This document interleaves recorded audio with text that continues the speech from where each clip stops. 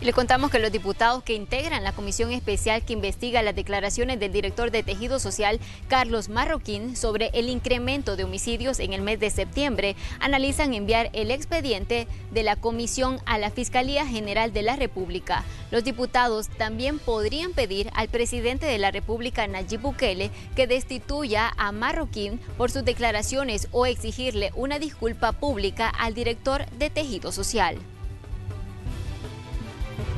acuerdo ha sido que en primerísimo lugar estaremos estudiando el informe. Si alguien tuviera la probabilidad de tener listo su informe para si todos tuviéramos listo el informe para el día de mañana lo haríamos, pero no, es más, ahí va a ser necesario hacer algunas puntualizaciones, de tal manera que el tiempo que, que nos hemos dado es para discutirlo el próximo martes en caso de que lleguemos hasta ahí. Madurando, y eso es lo que vamos a dejar, eh, ocho días de estudio para el informe que nos presenta el equipo técnico de la comisión para poder ver cuáles son las posibilidades que tenemos para robustecer el informe con las informaciones que tenemos, ya que sabemos que varios funcionarios públicos ofertaron mandar al seno de la comisión informes respectivos en, en material y no los han enviado, o sea, incumplieron